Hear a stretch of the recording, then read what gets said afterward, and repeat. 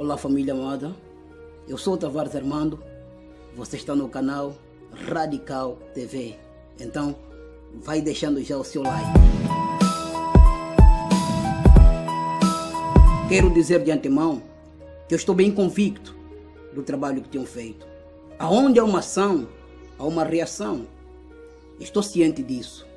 Eu sei que cada vídeo divulgado no canal Radical TV terá uma reação diferente, dependentemente do que é abordado no mesmo vídeo. Em momento algum, me sentirei desmotivado. Eu sei o propósito pelo qual Deus me chamou. E eu sei o propósito pelo qual Deus permitiu que eu passasse aonde eu passei. É por esta razão que eu estou firme, cada vez mais forte e mais firme, mais convicto de que estou a trilhar o caminho certo. Ninguém conseguirá fazer com que eu desista, ou então feche o canal, ou pare de fazer os vídeos. Jamais farei isso. O caminho é longo e a tarefa é árdua. A verdade dói, mas ela liberta. A verdade tem mais probabilidade de atrair inimigos do que amigos. O próprio Senhor Jesus, ou seja, o Yeshua, o Salvador da humanidade, ele foi claro a dizer: o profeta não tem honra na sua pátria. O profeta não tem honra na sua terra. Eu não tenho tido honra na minha terra ou na minha pátria, mas não descarto a possibilidade de que muitos angolanos respeitam o trabalho que faço. Prova disso são as ligações de felicitações que eu recebo pelo WhatsApp e pelo Facebook. E é notório também alguns comentários no YouTube. Vários angolanos seguem o canal Radical TV, tanto em Angola quanto na diáspora. Isso já é motivo suficiente para me alegrar. Isso já é motivo suficiente para me deixar satisfeito. Por causa da verdade, o Salvador da humanidade foi crucificado. E pela mesma verdade, Paulo e Silas várias vezes foram aprisionados, foram chicoteados, foram humilhados e maltratados. É por esta mesma verdade que muitos se levantarão contra mim. Quem sou eu para não ser perseguido, para não ser combatido? Será que eu sou melhor do que Cristo, que foi crucificado pela verdade? Será eu melhor do que Paulo e Silas? Será eu melhor do que os apóstolos que foram presos, que foram perseguidos, que foram humilhados, combatidos por causa da verdade? Claro que não. Claro que não. Longe de mim tal coisa. Eu também sou mero peão nesta grande jogada, onde os dealers cadastrados, os milionários, assim como Edir Macedos e companhias, querem sacrificar. A verdade nunca e jamais deve se calar. Eu não sou mero surfista em busca de ondas. Eu sou a onda para surfistas serem aprimorados. Estou bem dentro das minhas faculdades mentais. Eu sei quem sou, sei de onde vim e sei para onde vou. Eu sei o meu alvo. Meu alvo é Cristo. E eu tenho a certeza absoluta que este canal Radical TV tem transformado, tem abençoado vida de pessoas. Muitas pessoas são abençoadas por este canal Radical TV. A verdade dói, liberta. A verdade atrai inimigos. A verdade faz com que você seja rotulado como perturbado, endemoniado. Se fizermos uma viagem nas eras ortodoxas, vamos perceber que os profetas daquela época não alimentavam o ego de ninguém. Os profetas, sim, eram a boca de Deus para falar a verdade, para transmitir aquilo que Deus queria. Vários profetas na Bíblia fizeram denúncias contra reis, contra homens poderosos daquela época. E esses profetas nunca foram rotulados como endemoniados ou como pessoas que acarretavam ódio, a raiva dentro deles. Hoje em dia é muito diferente. Se fizeres alguma denúncia, você reprovar alguma atitude negativa dos falsos profetas, a primeira coisa que o irmão evangélico, o ignorante evangélico, vai dizer é o seguinte: não julgueis. Mas as mesmas pessoas que dizem não julgueis, elas se esquecem que a própria Bíblia, no Evangelho de João, é clara a dizer: julgai pela reta justiça de Deus. A Bíblia manda julgar pela reta justiça de Deus. Não sejamos analfabetos bíblicos. Vamos compreender a Bíblia. Vamos compreender o que é Evangelho. Evangelho é modo de vida, não é uma mera ilusão. É visível hoje em dia número de gente em busca na luta pelo cifrão. Muitos querem ascender, encaram as almas como uma oportunidade para transcenderem as suas vidas, para alcançarem os seus bens materiais. Todo o evangelho que é usado para fins lucrativos é negativo, é errado, é condenável, porque os apóstolos, que são exemplo para nós, todos os apóstolos, nenhum deles era milionário.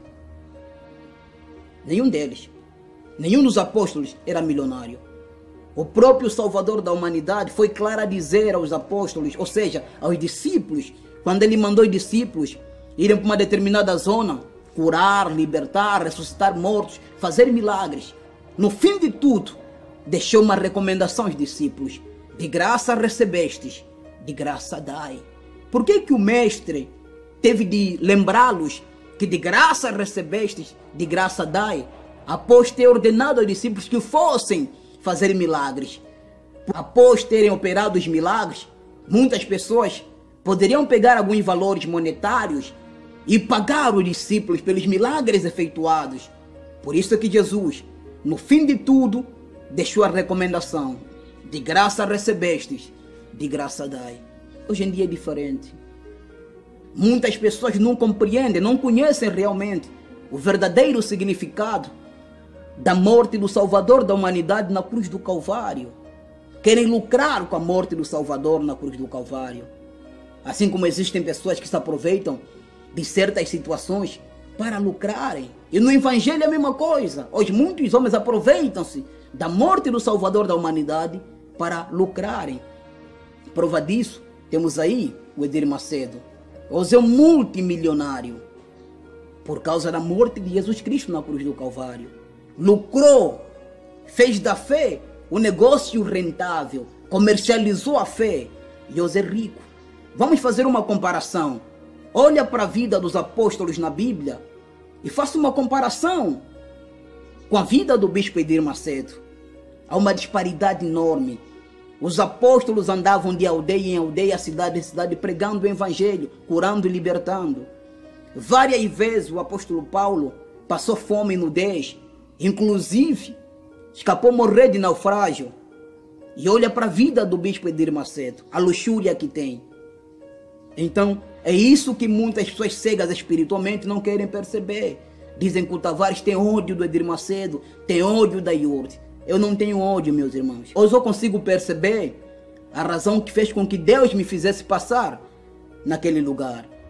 Era para que eu fosse a voz da liberdade, a voz da libertação cá no continente africano, especificamente em Angola, que é o país em que eu resido. Muitas pessoas dizem que os angolanos não prestam atenção no Tavares Armando, os angolanos não dão atenção no Tavares Armando, os angolanos não te respeitam, não acreditam no seu trabalho. Se engana quem diz isso, porque a maior parte das missões que eu realizo na aldeia Cacuti, essas missões que eu realizo na aldeia Cacuti, levar comida, levar roupa, levar bíblias na aldeia Cacuti. Maior parte das pessoas que financiam as minhas viagens para a aldeia Cacuti são angolanos que pedem anonimato. Angolanos que pedem anonimato. E que muitos deles vivem na diáspora. Muitos angolanos. Alguns cá em Angola, em Luanda, e outros vivem na diáspora. A maior parte das pessoas que apoiam financeiramente a Radical TV são angolanos angolanos que vivem na diáspora e outros vivem em Angola, que apoiam a Radical TV financeiramente. Angolanos que fazem com que este canal continue em pé, continue firme. São angolanos, angolanos, irmãos angolanos que apoiam. As viagens missionárias que tinham realizado são patrocinados por angolanos, angolanos que pedem anonimato. Não se engane você tentando me ridicularizar, dizer que os angolanos não prestam atenção no teu canal e que o nosso o teu canal é mais visualizado pelos brasileiros. Eu respeito o povo brasileiro, até porque tenho irmãos, tenho amigos aí que para mim são irmãos no Brasil. Mas quem apoia financeiramente, quem mantém esse canal firme, são os angolanos que apoiam financeiramente este canal Radical TV. Angolanos esses que pedem anonimato, que têm apoiado. Prova disso são as missões que eu tenho realizado. Não mais Tavares, o Natan Silva havia enviado algum valor para fazer missões. Sim, Natan Silva já apoiou financeiramente as missões lá da aldeia Cacute. E um ou dois brasileiros, algumas vezes, apoiam as missões na aldeia Cacute, enviando alguma coisa. Mas eu estou a dizer que quem mantém o meu trabalho missionário ativo e infalível tem sido os angolanos. Angolanos que têm um compromisso com as missões da aldeia Cacute. Angolanos que eu não posso mencionar o nome deles cá no canal porque não aceitam que eu mencione o nome deles cá no canal. Que são pessoas que têm mantido o trabalho, as nossas missões na Cacute ativo. Angolanos que acreditam no trabalho que eu faço. E esses angolanos, muitos deles, foram membros da IURT, se desvincularam da IURT, preferem apoiar um trabalho missionário, preferem ajudar pessoas lá nas aldeias, porque abriram os olhos. Noutra hora, davam seus dízimos, suas ofertas na Igreja Universal para financiar a luxúria do Bispo Edir Macedo. Essas pessoas se libertaram, abriram os olhos, os apoiam trabalhos missionários, fazem feliz pessoas que estão nas aldeias, apoiando com comida, apoiando com roupa, apoiando com medicamento e apoiando com Bíblias. Isso sim é que é fazer a obra de Deus, não é enriquecer e financiar a luxúria de um bispo que se recusa a trabalhar e ganhar a vida de forma honesta, suando. Prefere abrir a Bíblia e comercializar a fé. Um vagabundo ao quadrado, preguiçoso da primeira água, se recusa a trabalhar para comercializar a fé. E ainda assim, tem seguidores, tem pessoas que lhe defendem com dentes e unhas, ao ponto de me mandarem mensagens de ofensas, ameaças de mortes. Aonde te apanharmos, você vai morrer. Por esta razão, eu não publico foto dos meus familiares nos vídeos que eu faço, nem tão pouco nas minhas redes sociais. Prefiro mesmo não publicar a foto dos meus parentes, dos meus familiares, para que não sofram retaliação. Para muitos angolanos ignorantes, eu não passo de um rancorista por denunciar as falcatruas desta maldita seita. Olha para João Batista, vai na Bíblia, olha para João Batista. Leia um pouco sobre o apóstolo Pedro. Leia um pouco sobre o apóstolo Paulo. Quantas denúncias estão nas cartas do apóstolo Paulo? Quantas denúncias o apóstolo Pedro fez? Mas essa gente tem lido o que afinal de contas? São ignorantes, não leem nem a Bíblia, vocês leem. Nem a Bíblia Sagrada vocês conseguem ler. Tanta ignorância, tanta cegueira, por quê? Nem a Bíblia Sagrada vocês conseguem ler, não conseguem constatar as denúncias que o apóstolo Paulo fez, não conseguem constatar as denúncias que Jesus fez, que João Batista fez. O que que levou João Batista à morte? Ou pensa que João Batista foi morto simplesmente por um capricho? A morte de João Batista sucedeu após a denúncia que ele fez contra Herodes. Isso lhe custou a cabeça, lhe custou a morte. É isso que muitos ignorantes não querem perceber. Então, João Batista era rancorista. Jesus Cristo, o Yeshua, era rancorista. Os apóstolos, todos eles, eram rancoristas, tinham ódio no coração, tinham mágoa dos falsos profetas. Olha, a mentalidade dessa gente. Olha a mentalidade dessa gente. Essa gente é ignorante, não lê a Bíblia. Passam a vida toda a pesquisar na Bíblia palavras motivacionais. Você será rico. Passam a vida toda a procurar na Bíblia passagem que fala de bens materiais, que fala de milagres, que fala de bênção. Procuram, são escavadores de diamantes. Gostam de cavar diamantes, são escavadores de diamantes. Só procuram diamante na Bíblia, não procuram espinhos na Bíblia. Procurem também espinhos. Não procurem simplesmente diamantes na Bíblia. Procurem também espinhos. Há espinhos na Bíblia. Há verdades que libertam. Há verdades que vão se confrontar contra ti. Isso faz me lembrar as histórias que meu pai me contava a respeito da era colonial. Ele chegou a me dizer uma vez que se você fosse apanhado a ler uma Bíblia sagrada, você era morto. Era morto pelos padres. Os padres te matavam. Nenhum católico naquela fase era autorizado a ler a Bíblia.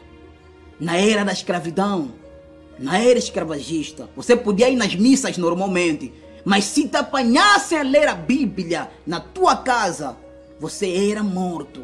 Hoje em dia, há várias livrarias por aí onde a Bíblia é de livre acesso, mas os nossos irmãos se recusam de ler na Bíblia só querem incutir na mente delas aquilo que os profetas falsos pregam.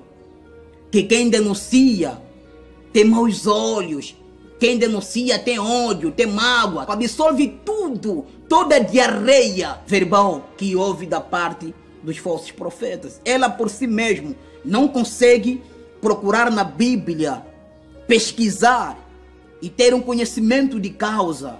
Não prefere ouvir, só ouvir, é manipulado por ouvir dizer, é manipulado por. Não quer investigar, nunca vai se libertar. Mas Tavares, você teve lá com eles. Também falavas da fogueira santa, tiveste lá com eles. Também falavas de propósito. Sim, eu tive lá com eles. Falava de propósito, falava de fogueira santa, mas não concordava. Tanto é que nas igrejas que eu passei, os obreiros me chamavam de revolucionário porque eu não concordava. Mostrava o meu ponto de vista e a minha linha de pensamento. Eu não era manipulado como os outros são manipulados. Os obreiros olhavam para mim e diziam assim: esse pastor, esse indivíduo é revolucionário. Ele é revolucionário, ele é diferente dos outros. Esse é revolucionário. E eu pregava para os obreiros, eu dizia: eu não vou morrer nisso. Enquanto o objetivo não for alma, eu não vou morrer nisso. E você que é obreiro, não adianta querer ser pastor. Porque, mano, isso não é o que você pensa. Aonde você está, você está muito bem. Continue onde você está. Continue a servir onde você está. Não queira você ser pastor, porque você não sabe a verdade de ser um pastor da IURT. É isso que eu pregava para os obreiros. Eles diziam assim: esse pastor é revolucionário. Tens dúvida? Passa! Nas igrejas que eu passei, procure investigar nos obreiros antigos que me conhecem, que eu pregava para eles. Ele vai confirmar, ou seja, eles vão confirmar as minhas palavras. Saí com a cabeça erguida. Não me prostituí, não roubei, não cometi crime algum. Saí com a cabeça erguida.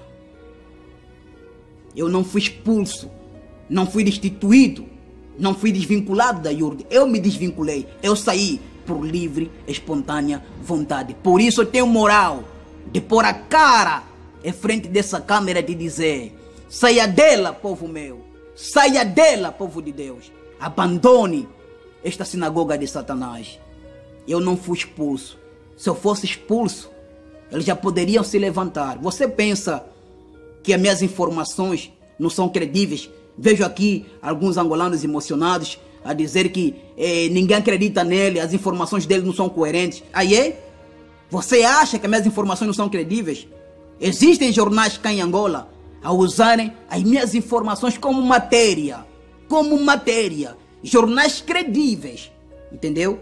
O que eu falo, se fosse um mero equívoco, ou até mesmo calúnia, eu já seria processado muito tempo. Já estaria por detrás das grades. Vão me processar como? Vão começar da onde? Eu provo tudo o que denuncio. Eu provo, eu tenho provas. Há uma senhora, uma irmã nossa, no Brasil, que bateu a porta da Radical TV. Esta senhora falava comigo. E no momento que ela falava comigo, eu pude perceber, pude notar que ela está passando por muita necessidade. A senhora está a passar fome com a sua família. Ela e a sua família estão a passar fome, estão a passar por aperto financeiro, estão a passar por necessidade. Eu tenho o seguinte conceito: o ser humano vive em função dos outros. A nossa existência deve ser o motivo da alegria das outras pessoas.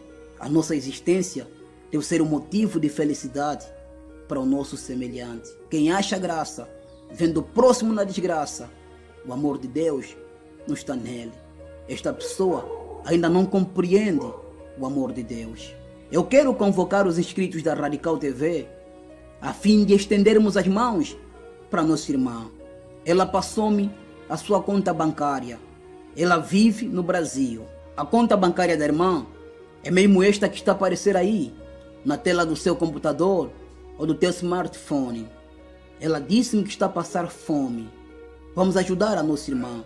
Você que puder apoiar ela com algum donativo, alguma comida, você que puder ajudar ela com algum valor monetário, então faça depósito na conta que está a aparecer aí, na tela do seu computador ou na tela do seu smartphone. Vamos juntar força, unir forças para que possamos fazer diferença na vida dela. Não podemos nos alegrar com sofrimento das outras pessoas, mas devemos sim ser participantes da vida delas, de maneira que possamos proporcionar felicidade, alegria e bem-estar. Eu agradeço a todos os inscritos do canal Radical TV que vão entrar em contato com ela, que vão apoiá-la com alguma coisa. Que Deus abençoe a todos os irmãos. Estamos no fim do nosso vídeo. Deixa seu like, partilha este vídeo. Estamos juntos e boa continuação. Um forte abraço. Cristianismo é modo de vida, não mera ilusão É visível no meu objeto na luta pelo cifrão. Confundir a graça de Deus com autossustentação Ilude menos atento àqueles que não têm visão. Sou pela congregação e contra a exploração. Mateus 10, verso 8, lei e recomendação. Bispo, pastor, reverendo pregador Olhe para Cristo, Ele é o nosso professor. Revelações soberbas, adoradas por incrédulos. No que tanja heresia Eles demonstram que